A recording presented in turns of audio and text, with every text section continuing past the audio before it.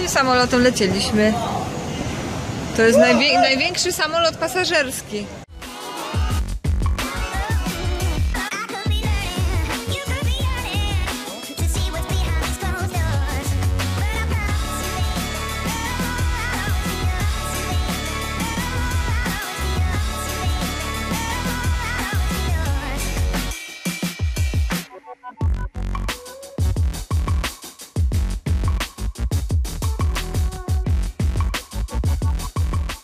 Teraz pokażę Wam nasz pokój. To jest pokój za 40 zł od osoby. Taki apartament. Tutaj mamy łazienkę. E, Łazienka jest, no jest, po prostu jest. Po prawej stronie jest kuchnia. Fajnie, bo jest lodówka, e, jakaś sofa, e, dwa łóżka dla czterech osób, bo to jest pokój dla czterech osób i widok z pokoju. No, taki sobie, no ale y, czego tutaj chcieć więcej za 40 zł w Pekinie. No i w szafce mamy papuczki, za co wielki plus i suszarka też jest, także bardzo się cieszę, bo swojej suszarki nie brałam, więc y, jestem bardzo zadowolona z tego powodu, że nie musiałam dźwigać. Tutaj mamy w łazience y, szczoteczki do zębów z małą pastą i jeszcze dali nam grzebień. E, Dzisiaj w ogóle jest po godzinie 14, więc e, dziś za dużo nie będziemy robić. Aha, i tutaj jeszcze są kosmetyki.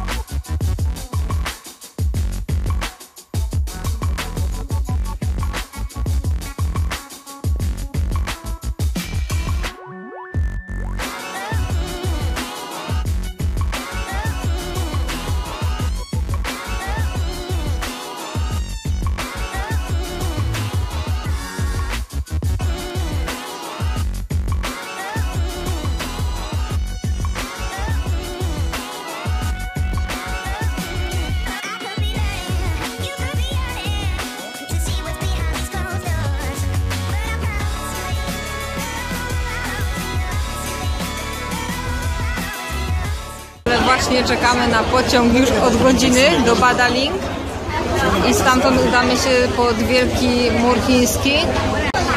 Bilet kupiliśmy za 6 juanów, czyli 3 zł, a przed kolejką było pełno naciągaczy, którzy próbowali e, namówić nas, żeby za 700 juanów pojechali z nimi taksówką. E, potem jeden powiedział, że za 500 juanów, czyli to jest 250 zł. To jest naciągacz. To jest naciągacz. To też. No i jeszcze mamy godzinę do pociągu i już tutaj nikogo nie wpuszczają. I generalnie jest ciasno, ciepło i jedno dziecko chciało z nami sobie zrobić zdjęcie.